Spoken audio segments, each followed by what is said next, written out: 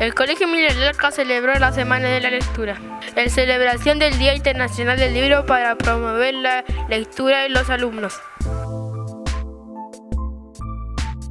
Soy Clemente Valderrama. Ahora un poco de historia. ¿Por qué se celebra el 23 de abril y no en otra fecha? El objetivo es conmemorar la muerte de Miguel de Cervantes, William Shakespeare y de Inca Garcilaso de la Vega, quienes fallecieron el mismo día.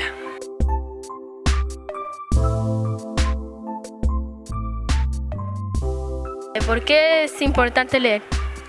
Bueno, la lectura te abre la mente, abre también el corazón y te lleva a viajar por diferentes mundos. La lectura en estos tiempos es importante para desarrollar la imaginación de los niños. El Día del Libro es una ocasión especial para ellos, tienen que hacer distintas actividades cada curso.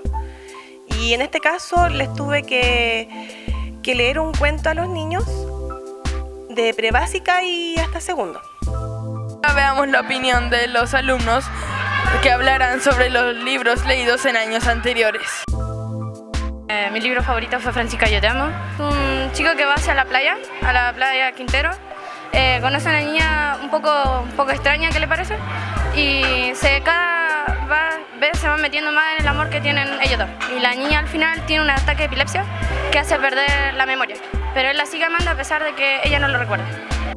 Bueno, el libro que más me gustó fue Cuento para Navidad, que se trataba de, de Scrooge, el viejo que odiaba la Navidad y que recibió una visita de tres fantasmas, eh, los cuales eran del eh, pasado, presente y futuro.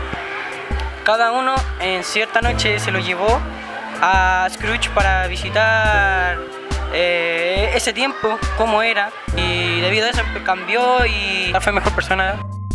Yo leí el libro Sadago la mil grulla de papel y la parte que más me gustó fue que Sadago quería cumplir el sueño de ser una corredora profesional.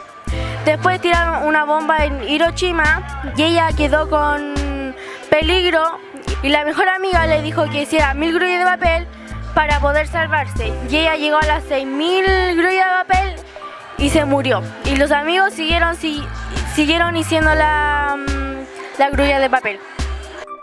Yo leí el libro Papilucho y mi hermana G. Se trata de, de un niño que se llamaba Papelucho y, y su hermana G era muy traviesa y se creía todos los cuentos infantiles. La mamá de Papelucho siempre tenía que llam- llamar a Papelucho para que buscara a su hermana. Bueno, yo les diría a todos los niños que lean y que lean mucho, porque les va a abrir mucho las puertas y va, va a crear mucho, mucho, mucho su imaginación y les va a ayudar a entretenerse, a compartir con sus familias y a ser niños más creativos.